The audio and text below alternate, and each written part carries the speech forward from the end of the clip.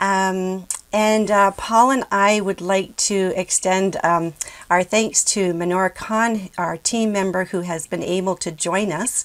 And she's actually taking care of our technology. So thank you again, Manora.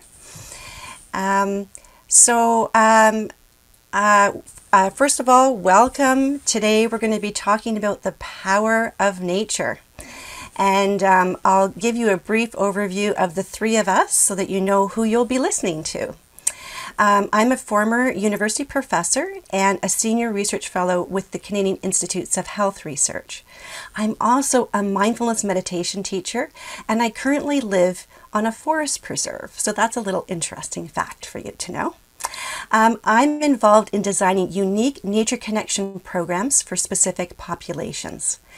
And the Eco Wisdom um, Forest Preserve has recently launched the Nature and Forest Therapy Certification Program. For more information, you can see our website. And I'm going to pass it on to Paul so he can introduce himself. Mm, great. Thank you, Kari, and uh, welcome everyone. Uh, I am Paul Gauthier. I'm the Executive Director at the Individualized Funding Resource Center.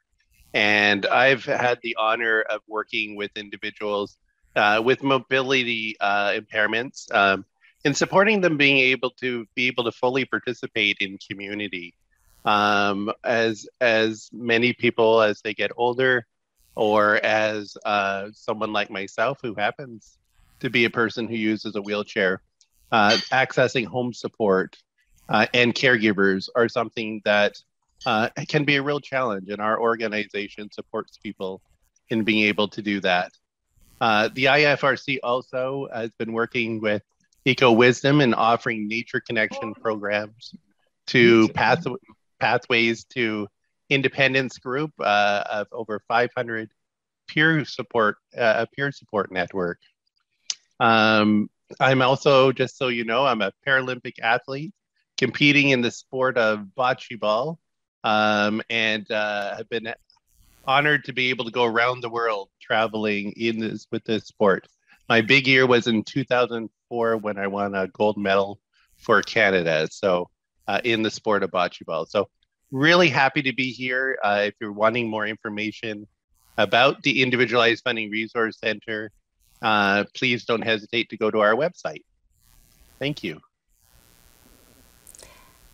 And now I'll invite Manor to invite her to introduce herself. Thank you, Kari. All right, everyone. Hello. I'm Mehnur. I'm an undergraduate student currently at U of T, and I'm hoping to go into medicine.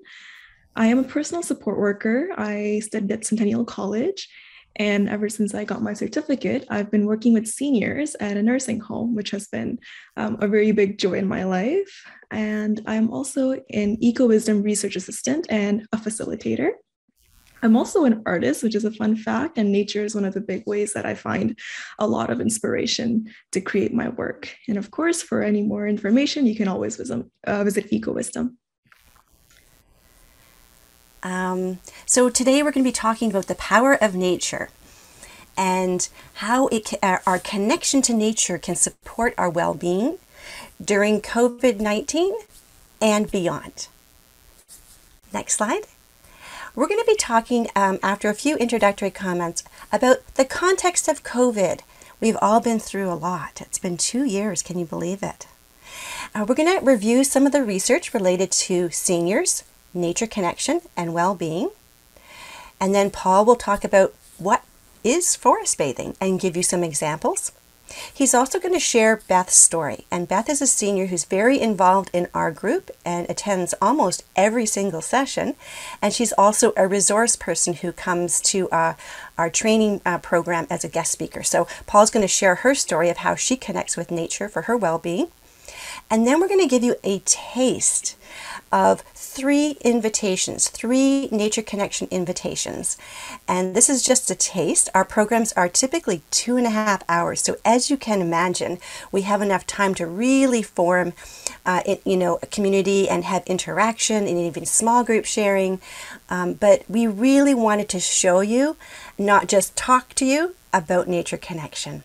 And we will end with a outdoor tea ceremony. I'll hop outside uh, where we still have about two feet of snow, and um, I'll be offering a concluding uh, white pine tea ceremony. We offer accessible nature well-being programs um, and Eco Wisdom and Individualized Funding Resource Center. We partner with an organization called Technology for Living. So this is really helpful because right now a lot of our programs are online. And so they make sure that our programming is very accessible to people who live with disability or, or, or who are in various circumstances. We've been very fortunate to receive small grants uh, funding through the TD Park People Grants Program. And more recently, the federal government of Canada has offered us a, a Canada Healthy Communities Initiative grant, which is fabulous. Next slide. We'll just skip through these and I'm going to pass it on to Menhor. Thank you, Kari. All right, so we are talking about uh, nature and wellness and connection within ourselves, but I think it's important to kind of set the stage for why it is especially important to be doing it at this time. And of course, as Kari mentioned, we have been in a pandemic for the past two years. And during this time, there's been a lot of social isolation, a lot of anxiousness and depression, a lot of uh, a lot of people from the youth to the elderly alike fear and grief, understandably, um, sleep and trauma and other stress that's related to quarantining and just isolation, um, and just not the best of mental health. There's a lot of different stressors that we have about managing our own health, our loved ones, war. And so this is the time when we really need to find something that we can deeply connect with and, and really find a way to reduce our anxiety and feel connected. And that's where this presentation will hopefully show you why our programs are, are trying to tackle all these different things. On. So one of the research um, conducted by Angus Reid Institute has shown that the effect of COVID has been pretty drastic. So you've got people that have been pulled apart, 82%, um, and then there's 79% who, who said that they bought out the worst in people, that COVID-19 bought out the worst in them. 61% of people said that their levels of compassion also weakened during this time. So all of these surveys are indicating that participants in our mindful nature connection programs feel a lot more relaxed and they feel a deep sense of connection and compassion for one another. So after our programs, we always send out surveys for people to give us some feedback. And so them feeling more relaxed and feeling connected and feeling compassion really, um, really combats the COVID's impact. Um, so we want to give you a little bit of a sneak peek into what we do.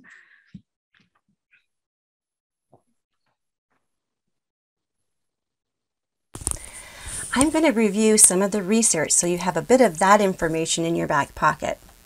Um, there's um, a field of research called forest medicine, and it derives out of Japan, and it's been in existence for approximately 40 years. So it's relatively new, but there still is, there are thousands of, of research studies in this field.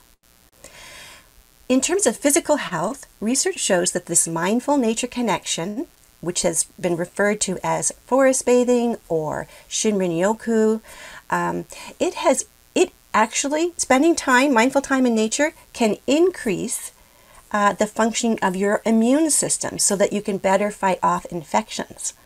It can also slow heart rate, lower blood pressure, lower blood sugar, and lower the stress hormone cortisol. It can also reduce the perception of pain, and this is something we've seen repeatedly in our programming. Now, one thing I want to say is that the effect of nature connection is it has a moderating effect. So if you start out with, say, um, low blood pressure as you enter into a program, it's not going to make your blood pressure even lower. It will actually raise it. And if you enter a program with high blood pressure, it will moderate it and bring it down. So it has a very individualized effect. And I find that just fascinating. Um, another field of research is around emotional health, and we know that this mindful nature connection can improve mood, perceived quality of life, and reduce depression and anxiety.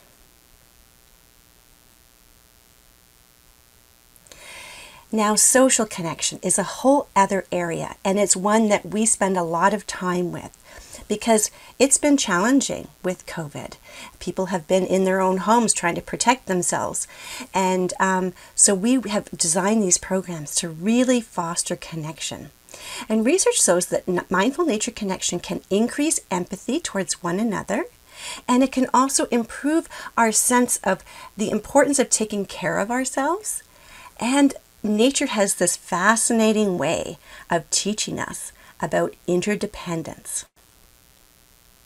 Now, in terms of cognitive function, oops, we'll just go back. Um, in terms of cognitive function, forest bathing has been shown to not only improve sustained attention, so your ability to really stay attentive, but also to improve your memory. So it's interesting because we were earlier, there was discussion about people with dementia, and um, there are things that we can do to uh, promote our health and um, and maintain our health. And uh, uh, this is one of those things.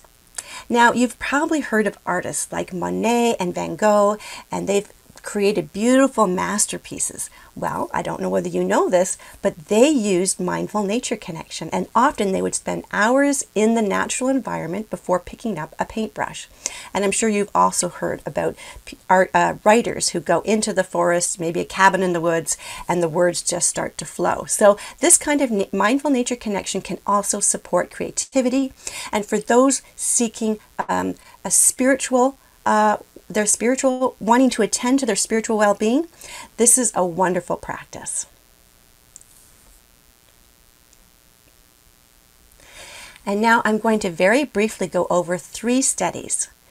The first one is a study where they looked at, uh, uh, they had two groups. They were looking at, it was published in the Journal of Cardiology, and it was very medical. They looked at a lot of um, biomarkers. The you know when you get your blood tests and they showed numbers here and numbers there. Well, these researchers looked at all kinds of numbers associated with the blood. And they had two groups of people, and one went into a natural environment for a whole week, for seven days. And the other, they did similar activities, so they, it was called a control, and they were stayed in an urban environment.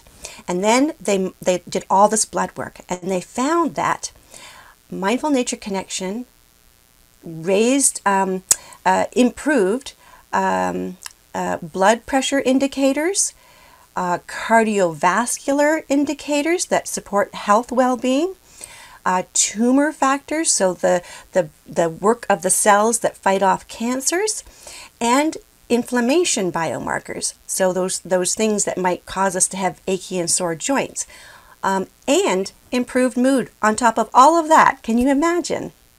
Now, I know this is a study about spending a full week, but it is important and, and, it may not be possible for us to spend a full week, although I love the idea of creating housing with trees around and green spaces around and that's uh, you know so can be so powerful but this this study shows us what can happen when we do spend when we have quote a high dose of nature connection Next slide.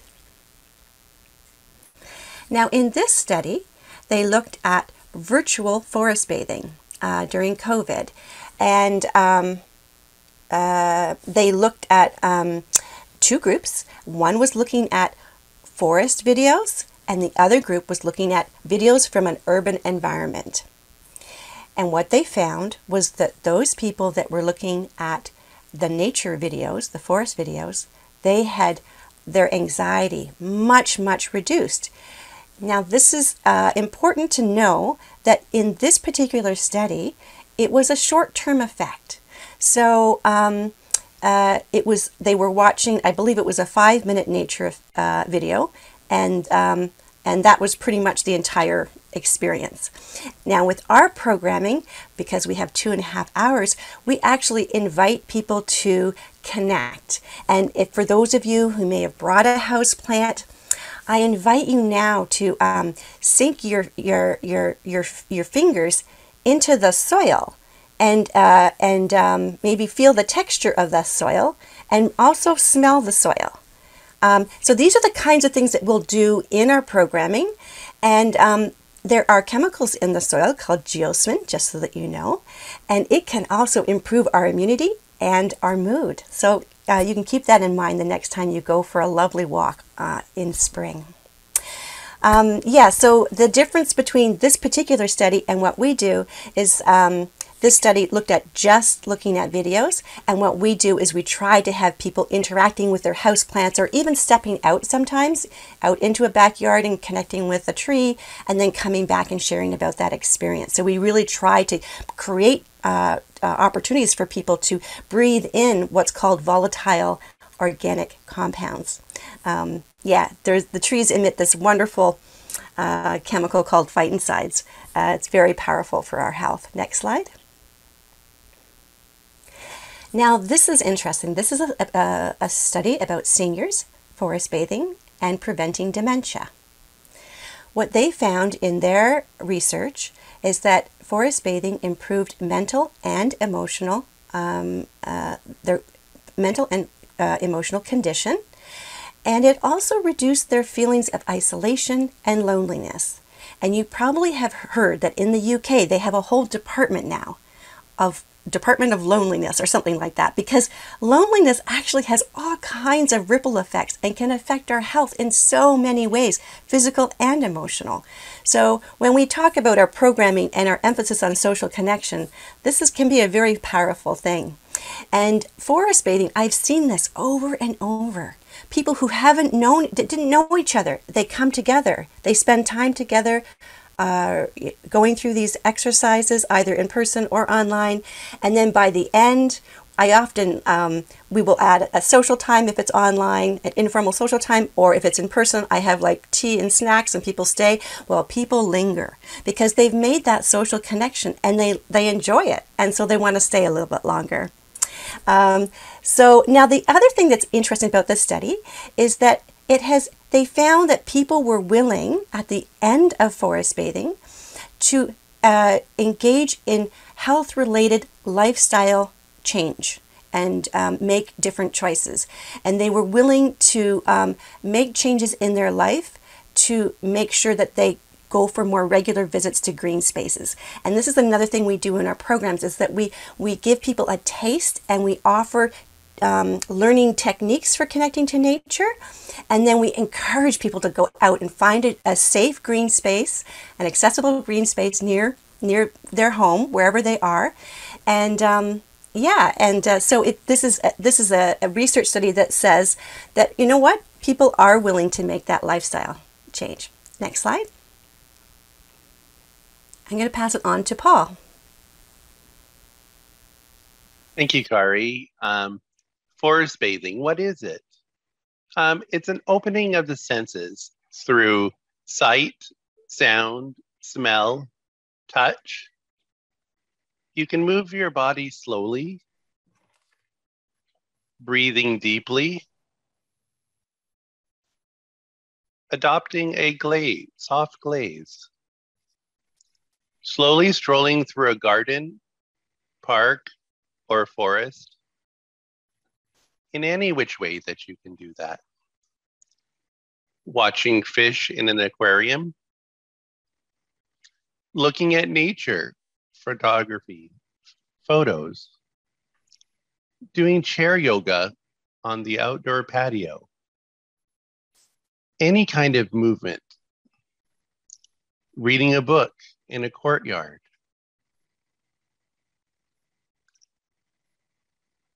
if you move to the next slide. I'm going to tell, I would like to share Beth's story with you. Beth is a senior who is actively engaged in our programs. Beth has always acted as a resource person for our Nature and Forest Therapy Certification Training program. A couple of months ago, she was a guest speaker who came to speak to our trainees about how she made her indoor garden as part of her self care routine. What I'm going to share now is based on her presentation. And I'm really glad that Beth gave us permission to share this story. Her story. Beth is 80 years old and an active gardener. Oh boy, can she talk about her garden. Caregiver for her husband with leukemia and recognizing that that has been something that has been a challenge for her and her husband. Ferns bring back bring back pleasant memories of time in nature. I want to share some of the quotes that she spoke. From my garden, I get great pleasure. I totally absorb absorbed in colors, texture, and fragrances. It's a joy. As I walk by, I pause and I enjoy the way the light shines through the color leaves and immediately calms me and takes me to another place. With the social isolation of COVID, my garden has taught me to find pleasure in the smallest things. These are some beautiful pictures. I have been attentive to the light, temperature, and water needs of each plant, and they repay me with their constant company. Thank you. Over to Kari. Thank you, Paul. And now we're moving into the part of the uh, the experiential presentation where you're, we're going to give you a little taste of a series of three videos um, that we have used in our programs. Um, we always first start with um, inviting people, and I'll, I'll do this now. Um, I invite you to take three slow, deep breaths and allow your exhalation to continue longer than your inhalation. So I'm going to say a few words and I just want you to practice this. This is a way to calm your nervous system. So one thing we do with um, our participants is we always emphasize that they can make modifications to these invitations. They are just simply invitations. And for some people, um, you may want to uh, um, make modifications to your setting and go on full screen. That's up to you if you want to see the video a little bit larger on your screen, or you might want to adjust your volume. You can do these invitations in any position and any location. We've had people indoors and outdoors, sitting upright, standing, moving if that's helpful. For example, those people who are feeling um, pain in their joints and need to move. And we also have had people who are laying down reclining. And um, also, we invite people to use the chat feature or speak, and they can have their cameras on, off, or both. And a little bit later, we will be inviting you to share your, uh, your impressions of the videos. And at that point, if you wish to turn on your video, you're welcome to do that. We also emphasize that people can actually um, make, uh, we also begin with like an embodiment practice and we might show a movement of our arms. But for people who don't, aren't able to move their arms or don't wish to move their arms, we encourage people to visualize moving their arms. And we talk about the importance and the power of visualization, and it's very related to nature connection. So, next slide. I'm going to pass it on to Menor. Oh, you're on mute. All right, I'm just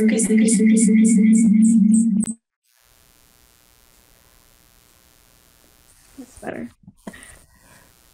All right, everyone. All right, everyone. So before we begin, I'm going to do this reading and I invite everyone to take three deep breaths as um, I say this short little poem by Rachel Carson.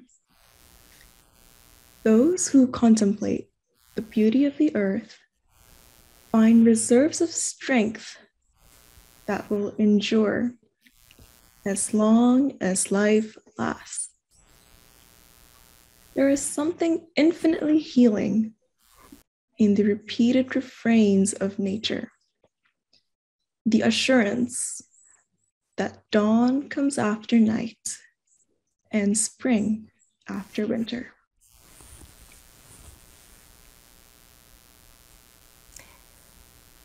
Thank you. And now for the first invitation. What's important in forest bathing or mindful nature connection is um, first getting a uh, grounding ourselves so we can do that by connecting to the breath or that gentle sense of gravity pulling us down towards the earth.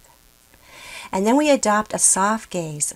In the research, they call it a soft gaze of fascination. And this is not a scientific or analytic uh, view. We're not measuring things, we're not counting things. We're just simply being present to nature. And so, in this particular video, I invite you to be present to the pleasant. Our brains have a natural bias, a negativity bias. You may have heard this. It has helped us when we've been in trouble. Um, but what has happened is that there are so many potential dangers that our nervous system is on high alert all the time. And so we need to actually make a concerted effort to focus in on the pleasant things. And the more we do that, the easier it becomes. It creates new neural pathways in the brain. So while you watch this video, I uh, invite you to really expand that sense of pleasure for any image or a little video clip that brings you pleasure. So what what is pleasant to you will be different for other people. Like everybody has their own thing. But when you come across an image that's pleasant for you, you can expand that sense of pleasantness by bringing a smile to your face or sighing, relaxing, or placing a hand over the heart. So those are three things that you can do. And now we'll watch the video. It's about two and a half minutes long.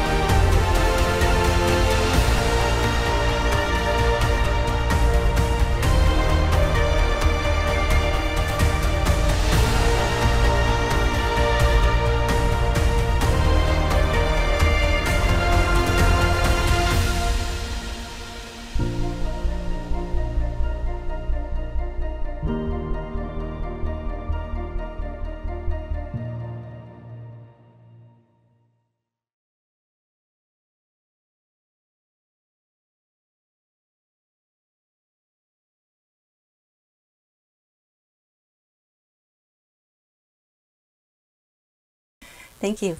Now, um, we're going to um, show you a second video. We're just, I just invite you just to take a pause now. Just take it in. And we're going to show a second video. And then at the end of that second video, we will open it up and we will ask you some questions around what did you notice?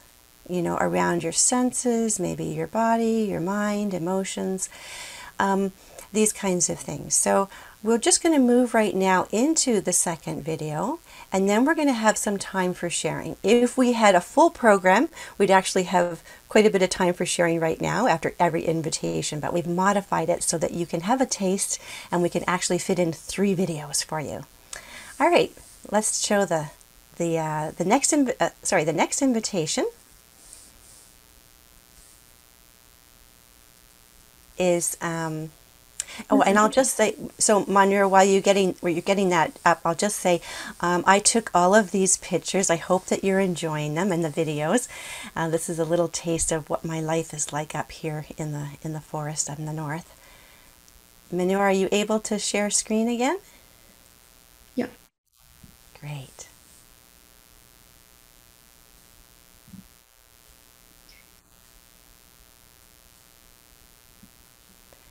Now, the thing about mindfulness, oh, the slide before this one, the thing about mindfulness is that um, it can help us um, be with all that is. So it's not about erasing things that are unpleasant and just focusing on what's pleasant, but it's about practicing connecting to what's present and being able to hold or be with what might be unpleasant too. So in this video, the you'll notice that the, the, the mood of the music is a little bit less upbeat. It's a little bit more just present moment, neutral.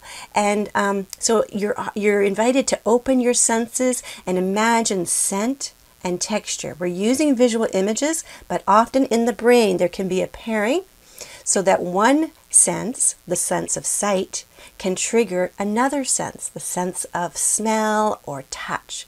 So I imagine, I invite you to imagine you're sitting on this rock, this lookout point in Algonquin Park at the peak of fall colors. I imagine you to um, feel the stone uh, under you. And, um, and I also invite you to look at the patterns in the leaves. Patterns in nature, whether that's a tree with branches that split and split and split, or whether it's the, the little lines in the leaves, these patterns are called fractal patterns. And we just, when we softly gaze upon fractal patterns, it actually activates the parasympathetic or the rest and digest portion of the nervous system. So please enjoy this next video.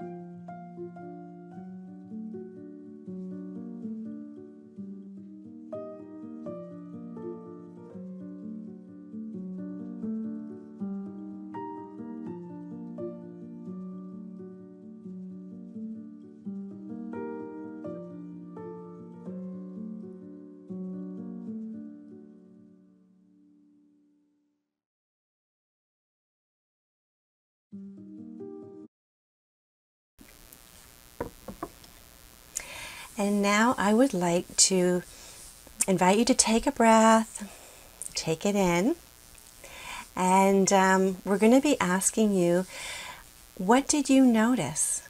Did you notice um, any particular color or texture? Any, any scene that particularly was pleasant for you?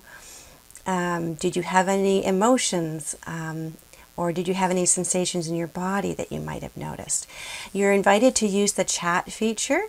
And um, if that doesn't work for you, um, you can just unmute yourself and uh, speak. So um, I think we um, we have a couple of um, participants. Um, maybe uh, Norma, would you like to go first? I, I see that Sue. I see Sue. Oh, okay, as great. well unmuted. And Sue, did you want to say something? Well, I'm trying to keep awake to watch the video. I wonder whether the relaxation make me feel sleepy. So watching the video made you feel sleepy? Yeah. Yes, that's a sign of relaxation. It's a certain sign of relaxation. Wonderful. Thank you so much, Sue. In the chat, Laurel says calming, and Sandy saying calm, happy. I was sitting there on that rock. Thank you, Laurel and Sandy. Hi. Um, I guess you can't see me. Here we go. I wanted to add that um, I, I noticed the flame on the candle, which I've never seen before. And, and I also was more sensitive to the texture of the rock. And it really felt, um, it just felt very strong. And I felt like I was being held in, a, in just a lovely space. Thank you, Norma.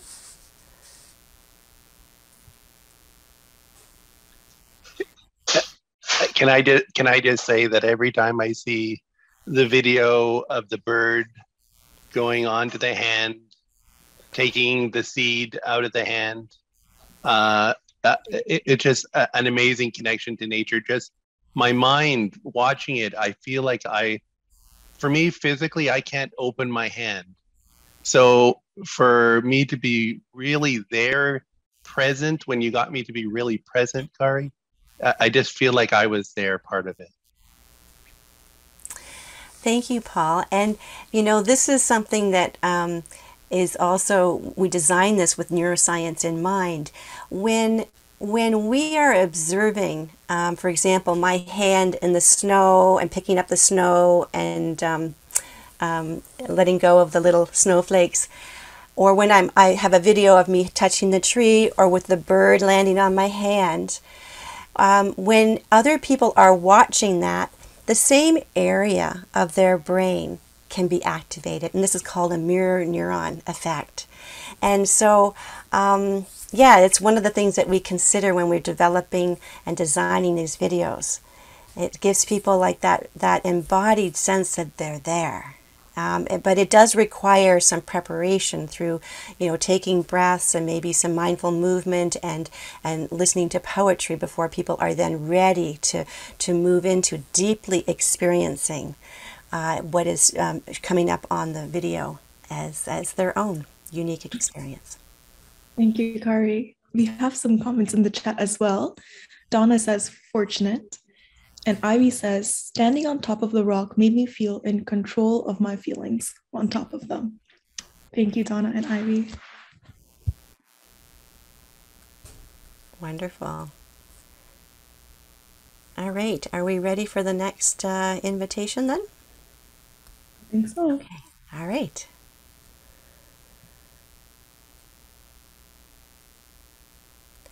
In this third invitation, you're invited to listen to the sounds of wind, water, and birds. This, this video will be mostly silent. And um, this is often what we do in our programs as we move into a deeper, deeper sort of mm, mindful state.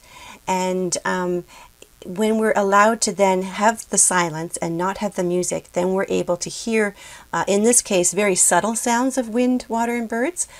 And um, these uh, three sounds uh, with along with others, um, have been shown in research to activate that parasympathetic or rest and digest portion of the nervous system. So again, when we can feel calm and rested, when we start to yawn, when we start to feel tired, that is allowing our bodies the opportunity to do some really good restorative healing. Um, so listen to these sounds and also open yourself up with a soft gaze and take in the colors of blue and green.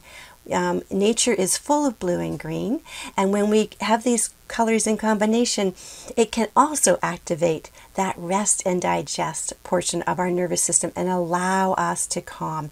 And again, coming back to our context of being through the pandemic and having complex stressors, including the war, just all these things, caregiving responsibilities or managing healthcare, anything we can do to calm the body allows our body to do some really important healing work.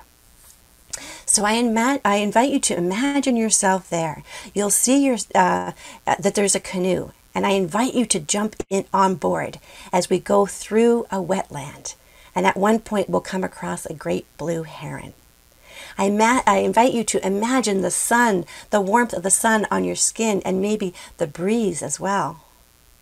And you may find that it brings up memories, or even a certain image or scene has a metaphorical, represents a meaning or a message for you. So we'll just move into this third and final invitation, this video, and then we'll um, do a little a little share opportunity afterwards.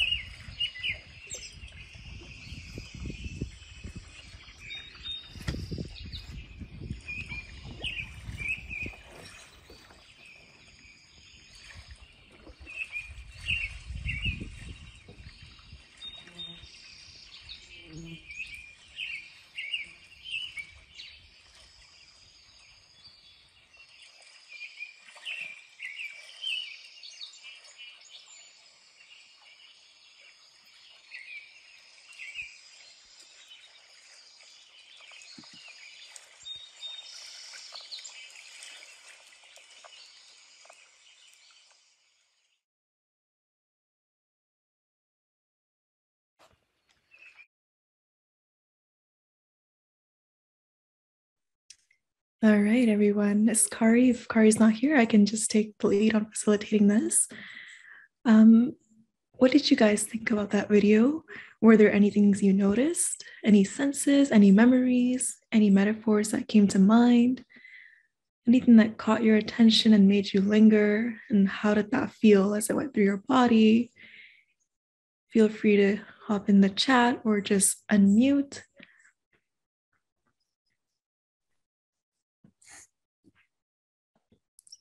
did it bring back any memories specifically? We saw the canoe and the water. If there's any one that has any memories they want to share. Hi, Donna. Go ahead, Donna. Yeah. Oh, thank you. Um, just two things. Uh, have a canoe, and I canoe in False Creek. And not only is it marvelous for me, it's marvelous for all the people on the shore who speak to us, who wave to us, who speak to us, and you get smiles everywhere. So it's almost like when you're in a canoe, uh, you have um, the mindfulness of the other people, not just your own. It's quite quite awesome, actually. Met amazing, amazing people. So thank you. Thank you. Um, just looking at the, the solitude, and we've actually had a seal follow us all the way back to where I, I keep the canoe in False Creek, all the way. So it was like, um, it, just looking at the canoe, I was thinking again how fortunate uh, we are that we do have waterways to canoe in, and that even though you're doing it yourself, somehow, somehow the mindfulness and the quiet of the canoe quiet and the mindfulness in other people. And the other thing is, I used to live in Sedona, Arizona, and we used to walk once a week. We walked in silence uh, for an hour and a half. And wow, is that ever an experience and a half in the red rocks in in the woods? So that's another thing I, I would recommend is is that when people get into nature, that you do it not talking, just silent, and then you can hear all the marvelous all the marvelous things you miss. anyway, thanks a lot. It was wonderful to hear it and share it and to experience it. Thanks. Thank you, Donna. Are there any anyone else who wants to unmute and share their experience? We have a couple comments in the chat. I can read those. I have White Blossom. I think this is from the first invitation, who says calm, beauty, seeing vibrant colors, wanting winter to be over despite the beauty of the scenes. So this is from the first invitation. Thank you, White Blossom. As for this invitation, Sandy says, a reminder to slow down, memories of what I enjoy most. Mm. Kim Agar says, happy childhood memories on the family ranch. Marjorie says, the video reminded me of my walk around Bur- Burnbury Lake, Burnaby Lake. White Blossom says that would surely help me to sleep. Spiritually, how nature can connect us to what is real. Quiet appreciation. Very, very true. Darshan says, mesmerizing, very calming and relaxing. And Laurel says, the sound of the water and the birds calm me. Sorry about my phone.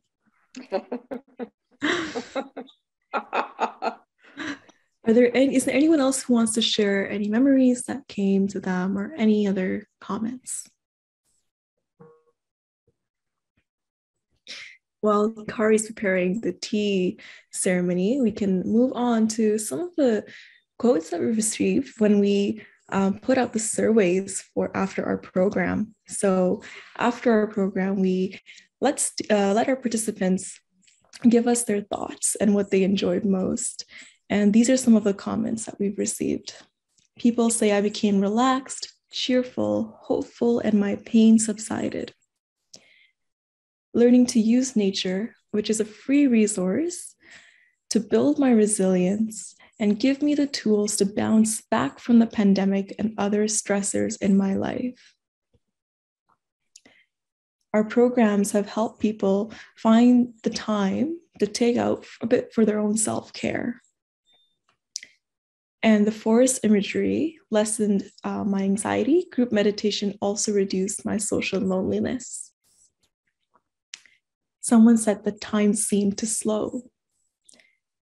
And another comment, which is on the tea ceremony, which you'll be seeing shortly, they said the candle lighting and the tea ceremony, I felt a spiritual and emotional sense of letting go of the grief I've been holding on to. The tree meditation made me think about being rooted in our past, living in the present, but reaching for the future as time passes. And our last quote here says This program makes no demands or judgments and offers the participant the opportunity to find quiet, respite, and solace in the beauty of nature. And we hope some of you were able to relate to some of these comments that we received through this very short program that we've had. Um, Looks like Kari is ready for us. Oh, wonderful. So what I'll do is I'll stop screen sharing here and I'll spotlight Dave right here. And can everyone see Kari with her beautiful tea ceremony setup? I'm here outside. You'll see that we still have ice and snow. Um, not too cold, actually. It's kind of nice to come out without my big parka on. And uh, we have some chickadees around, so I was just seeing if they wanted to come and visit. They may. Um, I'm going to put the seed here. We'll see if they come. Um, so now is the time, uh, and we always conclude our programs with a tea ceremony.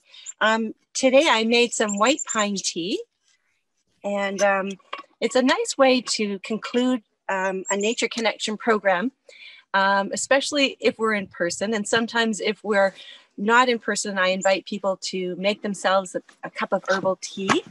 Um, and so I'm going to pour the first cup of tea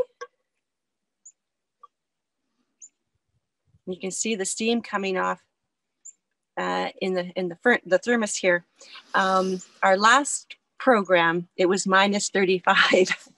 um, and I threw the tea up in the air and it froze into mist. It was quite magical. It was also evening, so all the all the candles were lit. Um, so as you can imagine, um, this is a nice atmospheric way to conclude our time together. It's a nice ritual. So I offer, I'm just going to stand up here. I offer this first cup of tea to the earth, to the source, to the resource um, that offers us so much.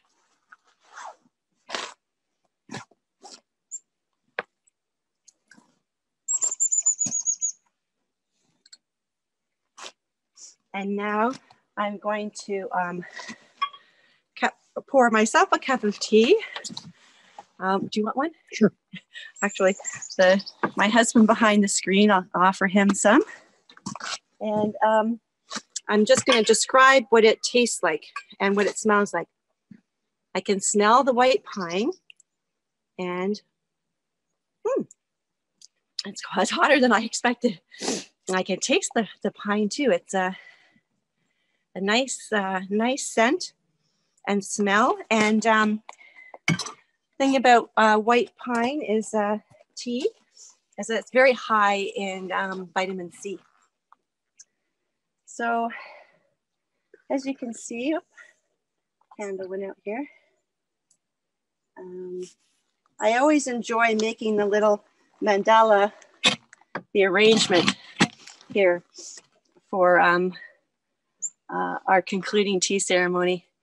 Um, just going to pass. Um, I guess uh, at this point, I believe we're doing our concluding comments. Is that right, Paul? And Menor? Yes, we can start. Yeah. Yes. And just before we do our concluding um, comments, I just want to thank each and every one of you for um, joining us today and um, a little taste of what uh, nature connection can look like. I'm going to pass it on to MK. Sorry, Menor. Thank you, Kari. MK is also fine. um, yeah, so thank you everyone for joining us today. And, you know, we've used these nature connection programs to complement other forms of healthcare um, so, whatever you're currently doing for your health, this is an additional complement to that. So, adding this is a great way to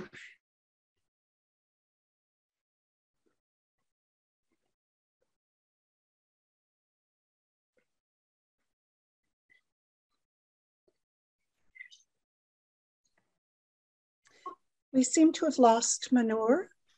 And we Oh, do this using a peer support model to form a community and a friendship. And all together, that provides an immediate, free, and safe form of mental, social, and physical health support. Thank you for sharing this experience. Okay. Thank I you think- very, thank you very much, Manor. Uh, your connection started to lose there. Um, and um, I, I just want to remind everyone, uh, you know, that you can do this. Um, we can do this indoor, we can do it outdoors, you can do it alone, you can do it with your family or friends. We hope that you've been able to be inspired to consider making mindful nature connection a part of your regular practice of self care. It has been a big part of my life, a new part of my life, actually, and I've seen it transform the lives of others. It has been a powerful way to build communities and care during, during challenging times, especially among people who might otherwise be isolated who are dealing with many forms of stress. We hope to see you at one of our programs in the near future. We're going to make sure that you have the information about how you could join us. Finally, we want to thank Dr. Mary Lou Herring, Herring and Christine Barakas, who invited us here today.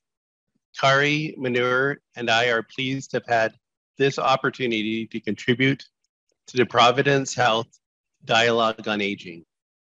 So thank you.